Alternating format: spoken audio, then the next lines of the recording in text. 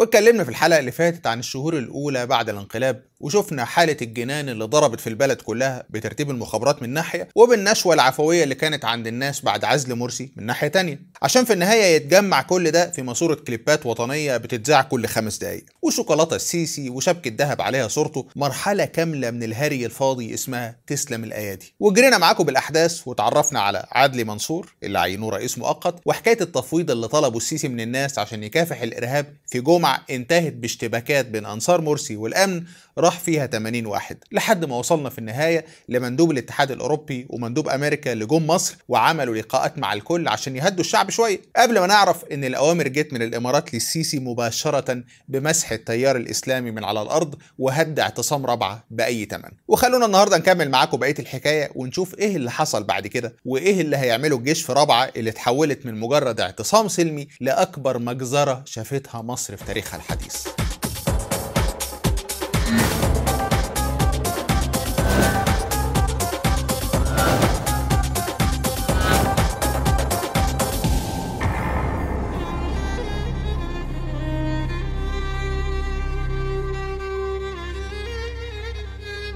على مدار رحلتنا وإحنا بنحكي لكم حكاية ثورة يناير بمقدماتها واللي حصل بعدها لحد يومنا ده في محطات كده الواحد بيقف عندها مستغرب شوية ويقول إزاي ده حصل؟ وكان عقلي فين وقتها؟ أو مواقف تانية ممكن يشوف قراره ساعتها أو اللي كان بيفكر فيه فيقول أما الواحد كان عبيط بشكل يا جدع. يلا ادينا بنتعلم. يعني انت نفسك ممكن تفتكر ولو بشكل ضبابي كده مشاعرك وقت الثورة أو يوم تنحي مبارك أو أحداث بورسعيد. ممكن يبقى عندك مخزون ذكريات محترم عن فترة مرسي واتفاقك أو اختلافك معاه ورأيك لما طلع علينا عبد الفتاح السيسي فما شفناش يوم عدل من ساعتها لحد النهارده. أكيد مجمع أنت الحاجات دي أو بتفتكرها وإحنا بنحكي القصة من أولها. لكن من وسط كل دول في مواقف خاصة كده الواحد بيقف عندها متنح. لا عارف يفتكر ولا عارف يجمع حصلت إزاي وإمتى. كأنها لحظة من الزمن سرقت الواحد. خليته نام وصحي فلقاها تمت وهو عايش لغاية دلوقتي بأثرها. بس لو جيت تسأله عنها هي نفسها يتنح ويتبرجل. يبقى عايش في ذكراها سنة ورا التانية وبيدفع ثمنها من دم ودم عياله وأصحابه. لكن الموقف نفسه كأن العقل حبسه في قلب أم أم. عشان لو افتكر وافتكر أحداثه كويس هيكره نفسه ويحس إنه كان في يوم من الأيام صغير قوي قصاد روحه. المواقف دي على راسها مذبحة رابعة. لو الانقلاب كان لحظة مهمة في تاريخ مصر فنقدر نقول بضمير مستريح إن مذبحة رابعة كانت اللحظة اللي قلبت كيان البلد بالكامل وغيرت تاريخه. كل اللي قبلها حكاية واللي بعدها حكاية تانية خالص. مذبحة قضت على أمل أنصار مرسي إنه يرجع أو يكمل مدته. قضت على أمل الناس اللي كان عندها ب 2 جنيه فهم ورؤية إن التجربة الديمقراطية اللي بدأت ممكن تكمل تاني لنهايتها. حلوة بقى وحشة فيها أخطاء أو كاملة من مجاميعه. المهم تبقى للنهاية ويبقى الشعب يصلح اختياره في الانتخابات الجاية والناس تتعود إن الرئيس زي ما بيحصل في العالم كله بيجي بالصندوق وبيمشي بالصندوق مش بالسلاح والدبابة. مذبحة رابعة قالت للناس بكل بساطة وهي مطلعة لهم لسانها شيلوا بقى مش طبلتوا وزمرتوا سلمتوا الأيادي البسوا بقى العمر كله وادفعوا ثمن تسرعكم وغبائكم السياسي. اللي جه بالسلاح لا يمكن هيسيبها لكم خضره ويمشي بالديمقراطيه ابدا. تخيل لما بلد بحجم مصر وتاريخها اللي واصل لآلاف السنين ما شافتش في عمرها كله مذبحة بالبشاعة دي. لدرجة إن هيومن رايتس ووتش توصفها بإنها واحدة من أكبر وقائع القتل الجماعي لمتظاهرين سلميين. وفي يوم واحد في تاريخ العالم الحديث كله مش تاريخ مصر بس وخلت البرادعي اللي كان من أول الناس الداعمين للانقلاب ومتصور إن السيسي هيطلع متحضر ويتعامل بنزاهة مع مرسي وأنصاره لما شاف كميه العنف والمجزره اللي ارتكبها الامن رمى الفوطه وقال لك بس شكرا على كده لا أنا مكمل نائب رئيس ولا مكمل في البلد دي أصلا What happened afterward was completely not what I signed on. I signed on a, an early presidential election. I signed on a dignified exit for Mr. Morsi. I signed in for a situation, an inclusive approach where the Brotherhood and the Islamists will be part of it. I signed on a plan which actually has been worked out by my friend Bernardino Leon, who is now trying to do the same in Libya. And but then all this was thrown out of the window. Violence started to take hold. And once violence started to take hold, there's no place for somebody like me. I mean, there is not the political space. There is not the in a society when you don't have the, a clear concept of justice and of inclusiveness and the political space, then then I, you cannot be effective and you cannot be part of that. وحان الوقت اني ابتعد على الاقل يعني ابتعد عن هذا المشهد لاني لا استطيع تحمل زي ما أنا قلت في استقالتي المسؤوليه عن قطره واحده من الدم يا اخي ما اقدرش واتصلت بالمستشار عدلي منصور قلت له أنا هبعت لك الاستقاله قال لي انت موقفك معروف وكان موقفي معروف قلت هذا الكلام في مجلس ال- الدفاع قلت لهم أنا اما اخذوا قرار بفض رابعه بس الأول كذا يوم قطع المية والنور وبتاع. قلت لهم أنا في, في لست جزءا من هذا القرار. بس عموما زي ما في ناس معانا فاكرين اللي حصل أو عصروه وكانوا جزء منه في ناس تانية ما شافوش وسمعوا بس من التلفزيون الرواية الرسمية للدولة. الرواية اللي طلعت المتظاهرين نفسهم كالعادة هم السبب أو كان معاهم سلاح وعتاد وذخيرة بالكوم وإنها كانت حرب عصابات مش فض اعتصام سلمي. ولو راح فيها ناس يبقوا يا هم اللي قتلوا بعض يا إما الجيش كان بيدافع عن نفسه مش أكتر. زي ما في ناس فاكرة كل ده في ناس تانية كان في مساحات سودة في ذهنهم عن اليوم ده والموقف ده مش بإرادتهم لكن ده الشيء اللي ريح ضميرهم. مسح كل الذكريات ومقاطع الفيديو والصور من بشاعتها ومن إحساسه بالعجز قدامها إنه بيتفرج وعارف الحقيقة بس لا قادر يتصرف ولا هيقدر حتى يتكلم عنها. للناس دي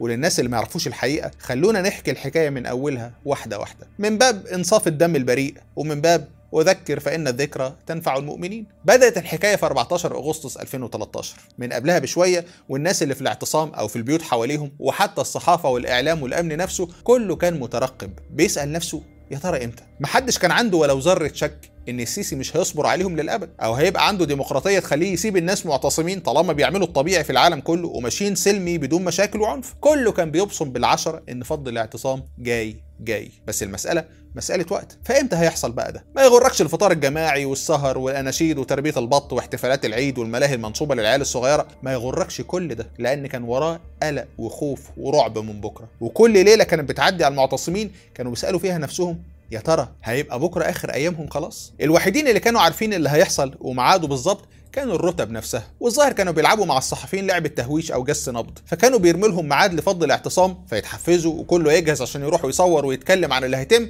لكن يكتشفوا تاني يوم إن ما حصلش حاجة. حصل الموضوع ده قبل الفض بثلاث أيام يوم 11 اتصل بيهم واحد من المسؤولين وقال لهم إحنا صلينا استخارة كده ونوينا نتوكل على الله ونقتحم النهارده الفجر وبارك الله فيما رزق. عدى الليل وجه الفجر وورايا الصبح ما حصلش أي بطيخ. وعرفوا بعد كده إن وزير الداخلية لغى القرار في اللحظة الأخيرة. غالبا يا باتصال من فوق يا إما زي ما دبلوماسيين أمريكان قالوا بعد كده إنه ما كانش عاوز يدخل الاعتصام ويتورط فيه لوحده. كان عاوز قوات الجيش تشاركه ويبقى الموضوع بالنص ما بينهم. عشان وقت الحساب كمان لو حصل يعني يبقى الليلة شايلها اتنين ما يبقاش هو كبش فدا ويروح فيها وشكرا على كده. ايا كان السبب فمش قضيتنا دلوقتي. المهم بس إنه أجل الليلة بدون أسباب معلنة ولا حتى ميعاد تاني وقتها. لكن لما جه يوم 13 بدأت تتسرب أخبار جديدة للصحفيين المصريين إنهم تاني هيقتحموا بكرة الاعتصام. واللي شغالين مع الصحفيين الأجانب وليهم واسطة في المخابرات مثلا كان بيتقال لهم بالنص ما تجوش بكرة الشغل. ولو لازم خليكوا بعيد عن ضرب النار خالص لحد ما الدنيا تهدى. أهو المرة دي اللي طلع الخبر فيها حقيقي مش في فنكوش زي اللي قبله. وفعلا مع فجر يوم 14 أغسطس بدأت المجزرة الحقيقية. أغلب المعتصمين وقتها كانوا نايمين في أمان الله. والباقي اللي سهرانين كانوا بيرغوا أو بيهزروا سوا وبيلفوا حوالين الخيم يتأكدوا من إجراءات الأمن. فجأة وبدون مقدمات الرصاص اتفتح مرة واحدة ومن كل الجهات وصفارات الإنذار ضربت كلها في الجو. في نفس الوقت اللي بدأت سبع جرافات من الجيش يتحركوا في طريقهم للاعتصام ومعاهم مئات العساكر من الداخلية ومكافحة الشغب على رجليهم ومعاهم سلاحهم الكلاشينكوف واللي كان يفكر بس ينط على جرافة واحدة كانت البنادق بتفتت جسمه في لحظة. الناس كلها صحت مفزوعة الصريخ من كل ناحية. واللي بيجري واللي بيحاول يحمي اللي معاه. وقادة الإخوان اللي كانوا على المنصة نزلوا تحت الترابيزات والشباب العاديين نطوا ورا سواتر الرمل عشان يتداروا. واللي منهم قدر يطلع موبايل ويصور اللي بيحصل كأن قلبه بيقول له إن اللي هيحصل حالا لازم يتوثق بالصوت والصورة. وكل حبة والتانيه يسمعوا صوت الميكروفون في حد من قادة الإخوان بيثبتهم ويحاول يقويهم بالشعارات يعني. وبعدين ياخد له ساتر شوية ويرجع يتكلم حد تاني وهكذا. جزء من التنشين كان على المنصة بالذات باعتبارها في وش الاعتصام. رصاصة من البنادق جت في دماغ مصور قناة الجزيرة اللي كان مركزه ثابت فوق المنصة وبيصور كل حاجة. طلع وراه واحد تاني ساتر دماغه بخوذة وأخد مكانه ورا الكاميرا ويا دوبك هي نص ساعة تقريبا اللي وقفها قبل ما تجيله طلقة جديدة خلت الخوذة تترمي على المنصة وهي غرقانة في الدم. بس مع ذلك فضل قادة الإخوان مستخبيين بالسواتر وبيهتفوا بالناس لحد ما طلع الصبح. وخرجت شابة صيدلانية اسمها مروة سعد مسكت منهم الميكروفون وقعدت تصرخ وتقول أنتوا فين؟ فين الرجالة؟ أنتوا سايبيننا بنموت هنا. وعينيها كانت بتشوف المجزرة وهي بتحصل حواليها. والشباب اللي بيقع والجثث اللي بتترمي في كل حتة ما بين اللي بيتصاب ويقع مكانه أو اللي بيلحقوا أصحابه عشان ينقلوه على العيادات الميدانية اللي عند جامعة رابعة. ويا يلحقوا الدكاترة هناك بعلاج الجرح والمسكنات يا يموت بين إيديهم ويتنقل للأوضة اللي جنبهم اللي اتحولت لمشرحة بدائية. الجثث فيها بتتراكم فوق بعضها بشكل بشع. كل الكلام عن فضل الاعتصام بالطرق السلمية اتبخر في لحظة. كل اللي الناس سمعوه سواء قبل باسابيع ولغاية يوم فض الاعتصام نفسه في كل وسائل الإعلام عن الحفاظ على أرواح الناس والممر الآمن للمتظاهرين اللي عاوزين يخرجوا بسلام خصوصا الستات والأطفال كل ده اتلحس بالكامل. وطلع اشتغالة كبيرة والجيش والشرطة اللي حصلوا للاعتصام خلوا مفيش خرم إبرة يخرج منه حد. وكأن كل الحصار ده ما كانش كفاية فتكتشف بعد كده إن مش بس الأمن اللي كان ضد المتظاهرين ساعتها ومحوطهم من كل ناحية ده حتى للأسف الناس اللي كانوا ساكنين حوالين الاعتصام هم كمان كانوا عاملين كردون حواليهم عشان ما حدش يهرب. كأنهم شوية فراخ زانقينهم في عش عشان ما تلاقيش مخرج. لدرجة إن الستات الكبار كنت تلاقيهم في الشوارع الجانبية مسلحين نفسهم بصواعق كهرباء صغيرة كده عشان اللي يلاقوه في وشهم من المتظاهرين يضربوه بيه. وشباب تانية حاطين جردة بلاستيك كبير فيه أزايز بيملوها بنزين ويربطوا فيها حتة قماش فتتحول لقنبلة مولوتوف جاهزة في ثلاث ثواني. وكل دول كانوا فرحانين جدا إن الشرطة أخيرا بتطهر الميدان. حالة كراهية وغضب غير طبيعية. قعد الإعلام يشحن بيهم الناس طول الفترة اللي فاتت لحد ما وصل بالبلد إنها مش بس تقبل الانقلاب ده عارف إزاي يلعب في صواميل شعب كامل ملهوش في العنف بطبعه وما يعرفش الدم إلا في حالات استثنائية عشان يحوله لشعب دموي عنصري. كل همه يقضي على الإسلاميين وأنصار بأي ثمن أنصار مرسي اللي كانوا بيلفوا في الشوارع والدم مغرقهم والرصاص حواليهم من كل ناحية وهم عمالين يصرخوا في الناس في البيوت والبلكونات حواليهم ويقولوا لهم اديتوا له تفويض خليتوه يقتلنا يا خونه بمرور الوقت بدأت قوات أكتر تظهر في الاعتصام وظهرت مدرعات وعناصر مكافحة شغب بلبسهم الأسود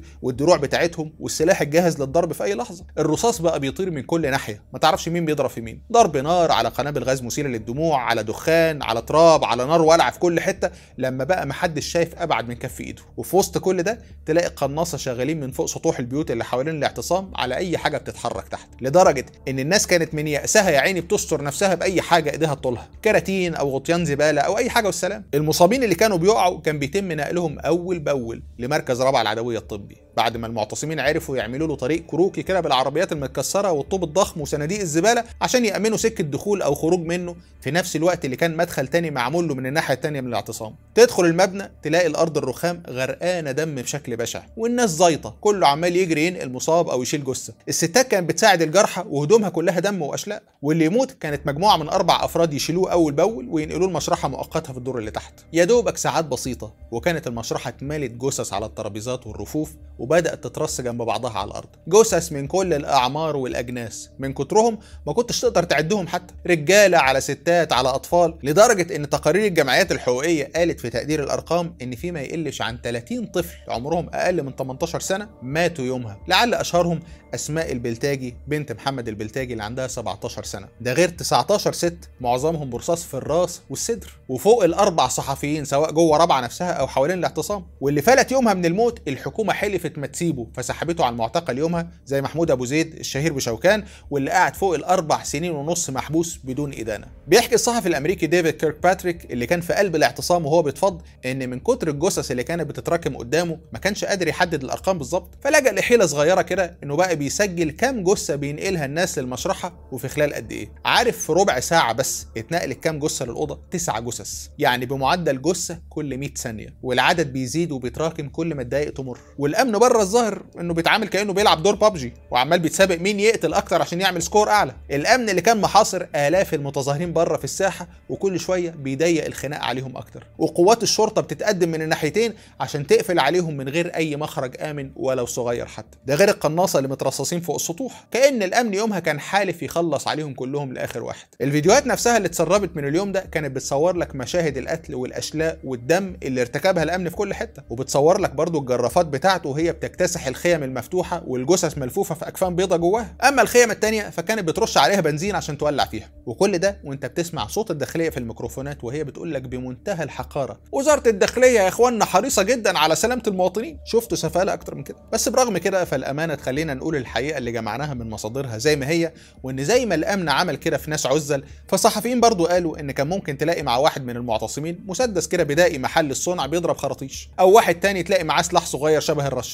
وإحنا هنا مش في مجال حكم قد ما بنقول الحقائق زي ما هي. والحقائق برضو بتقول إن قصاد المدنيين اللي ماتوا يومها ورئيس الوزراء وقتها قال عنهم إنهم وصلوا حوالي ألف فالداخلية نفسها قالت إن اللي مات من الأمن 8 بس وإن كل اللي مسكوه كان 15 سلاح ناري بس مع معتصمين وصل عددهم لآلاف. بغض النظر عن إن الدم كله حرام في نظرنا وغير مبرر لكن متصور إن 8 ضحايا بس من رجال الأمن تخليهم يقولوا إنها كانت حرب مع إرهابيين معتصمين في الميدان وإن المعتصمين كانوا قلبينها ثكنه عسكريه مخزنين فيها سلاح وذخيرة وعتاد؟ ولو افترضنا إن كل اللي كان معاه سلاح ده إرهابي ماشي.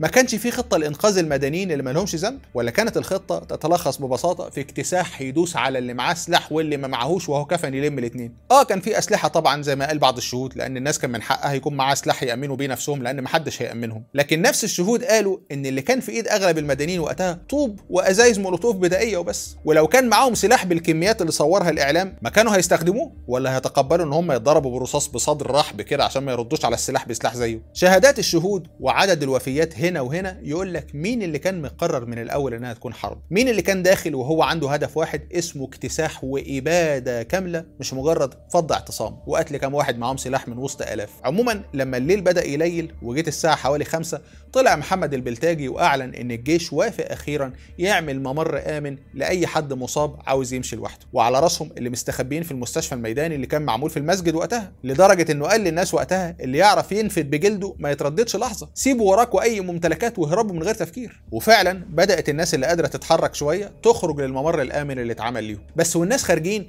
كان الشعور اللي غالب عليهم هو الألم. ألم جسدي ومعنوي. إحساس بالرخص في بلد محدش وفر لهم فيه أدنى درجات الكرامه والحرية في الرأي وجه النهارده عشان يسحب منهم الحق الوحيد اللي فاضل لهم الحق في الحياة حتى. كل واحد كان خارج وهو مكسور ومنظر الدم والحرايق والجثث والأشلاء اللي في كل حتة حواليه كان بيعدي قدامه زي الشريط ومخلي ظهره محني ومش قادر يرفع عينيه في وش الأمن من كتر الذل. واللي كان ينطق من غلبه ويقول آية ولا دعاء ولا حتى إنا لله وإنا إليه راجعون كان بيترد عليه بجبروت أكتر من الأمن ويلاقي البندقية لازقة في دماغه ويتقال له اللي بنعمله فيكوا ده عشان خاطر ربنا يا حبيبي. إحنا هنا عشان نقتلكوا شوية منافقين. مشهد ما تشوفوش في دولة محترمة بين اللي مفترض إنه أمن بيقبض مرتبه من ضرائب نفس الناس اللي رفع عليهم السلاح دول وقتل فيهم من كام ساعة وبين مواطنين كل ذنبهم إن ليهم اختيار سياسي مش على هوا الكبار وإنهم حبوا بس يقولوا رأيهم بطريقة سلمية ويدافعوا عن اختيارهم ده. مشهد يليق والله بدولة احتلال مش دولة كل اللي فيها مدنيين على شرطة على جيش سواسية ومواطنين زي بعض. بس خلونا من الكلام ده دلوقتي ونرجع لحكايتنا الأصلية. يا دوبك الساعة جت سبعة والحكومة فرضت حظر تجول بدون كلام وحطت نقط تفتيش عسكرية في كل حتة في القاهرة. نقط تفتيش وحظر تجول على حق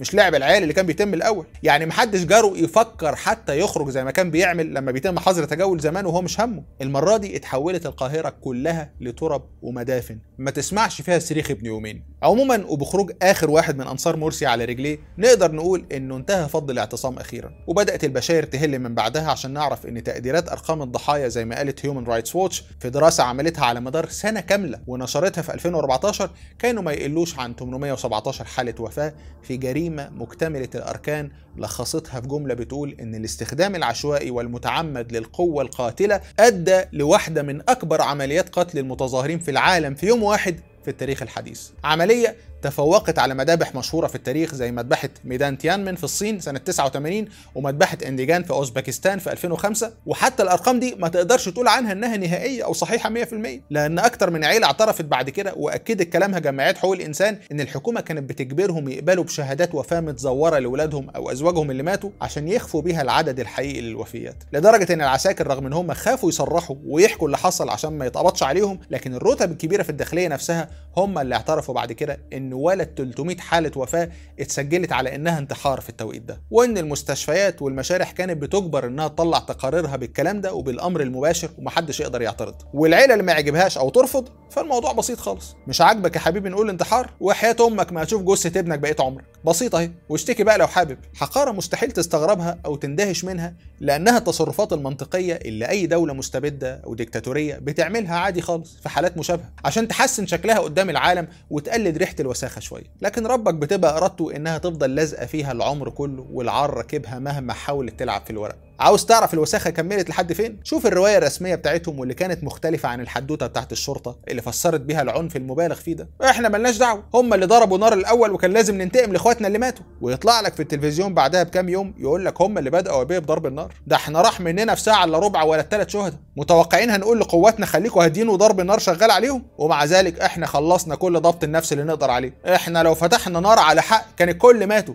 طب واللي ماتوا دول كلهم كانوا إيه يا باشا؟ يقول لك معظمهم بنيران صديقة. الإسلاميين اللي معاهم هم اللي ضربوا عليهم نار ولا حول ولا قوة إلا بالله. شفت الناس بيعملوا إيه في بعض؟ طبعا أنا عشان خايف على معدتك تتقلب من كتر القرف اللي مفيش إنسان سوي يستحمله فمش هكمل في تصريحاته. يكفيك بس تعرف إن اللي بيقولوا ضبط النفس وهم اللي بدأوا يبيب ضرب النار هم نفسهم اللي دخلوا الاعتصام وهم شاحنين القوات بتاعتهم بالعساكر بالرتب بكله كمية شحن غير طبيعية. كلام من عينة افتكروا أصحابكم وزمايلكم اللي قتلوهم الإسلاميين زمان. الاعتصام ده متكرب السلاح وهيبقى فيه مقاومة عنيفة. إيه الإسلاميين اللي جوه دول عاوزين دم الشرطة. كده يعني. أنت متخيل بقى كل العساكر البسيطة وصف الضباط وحتى الرتب اللي داخلة ولسه على قدها هتبقى مشحونة قد إيه؟ متخيل لما واحد معاه سلاح مترخص وبيقتل وهو عارف إن كل ما هيقتل أكتر هيتعلق له نشان ويتكرم وياخد بدالات وحوافز وفوق ده كله بيحشي دماغه إن كل اللي جوه دول قتلوا أصحابه ومعاهم سلاح وعمر قصاد عمرهم. اللي هيقتل التاني الأول هو اللي هيكسب المعركة؟ متخيل بعد ده كله هيدخل يعمل إيه؟ هيسمي على حد أو هيحسس عليه؟ لو بإيده فرصة يعتق روح واحدة بس هل هيسيبها؟ أنا هنا مش بعفي حد من الدم ولا بقول إن هم ضحايا وتلعب بيهم بس زي ما بنقول إن في رتب وقيادات كانت عارفة بتعمل إيه وداخلة وهي عايزة تنهي الاعتصام على إيه بالظبط. فكان في برضه رتب اتصور لها المشهد في الصورة اللي قلناها.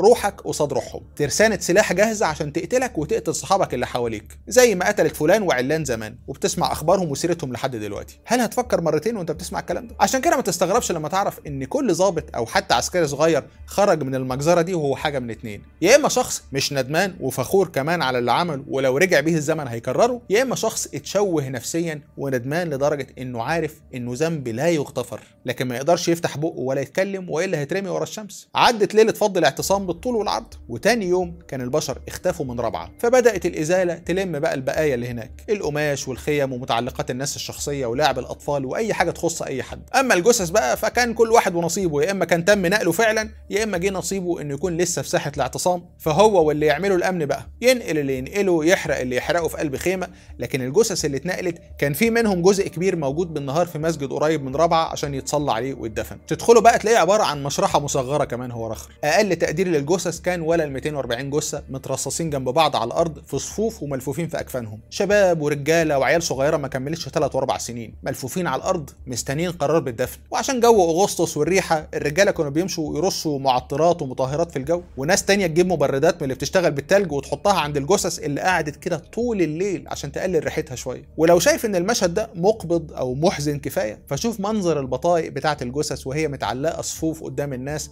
عشان اللي مش لاقيين ولادهم وجوازهم وبناتهم يشوفوا في البطايق جاز يتعرفوا عليهم هنا. وكل واحد بيفر بعينه في الصفوف وهو بيقول يا رب ما الاقي بطاقة ابني أو حد من أهلي وسطهم. وعشان المسجد اتملى على آخره بدأ الناس اللي بره يتجمعوا في حشود حاولوا يطالبوهم بالميكروفونات إن هم يمشوا لكن مفيش فايدة. الغضب والغيظ والإحساس بالظلم كان مخليهم قدام المسجد ومحدش فيهم بيفكر يمشي أو يروح لحاله. ما بين اللي القهر مخليه ساكت واللي عمال يتكلم وهو مغلول وحالف يضرب نار على أي حد لابس ميري حتى لو هياخد عاطل على باطل مش ده نفس اللي اتعمل فيهم امبارح؟ يبقى الأمن يجربوه زيهم بقى. بس عشان الهم في منه اللي يبكي وفي منه اللي يضحك. فاللي يضحك المرة دي بقى كانت قناعة ساذجة عند كتير من اللي واقفين ساعتها إن اللي حصل ده لا يمكن هيعدي بالسهل مستحيل يا راجل. حمام الدم ده كله أكيد هيصحي ضمير الناس العادية ويخليهم يقلبوا على الجيش. كله كان مقتنع بكده. لا وبياكدوا لزمايله بكل ثقة. كأن اللي حصل في رابعة امبارح هيبقى هو شرارة الثورة الجديدة اللي تعيد الميزان مظبوط وترجع مرسي وتصلح التجربة اللي ما كملتش إلا سنة دي. مين عاقل يفكر إن كل الدم والجثث دي ومحدش من المصريين يتكلم أو يعترض؟ اللي ضحكك فعلا إن ولا واحد من اللي واقفين دول كان يخطر على باله إن مش بس اللي حصل هيعدي ويروح لحاله ويتحول لذكرى مش أكتر؟ ومفيش تحقيق واحد محترم هيطلع من الحكومة يقول الحقيقة أو يعاقب المتهمين؟ ومش بس مفيش واحد من الجيش أو الداخلية أو حتى الإعلام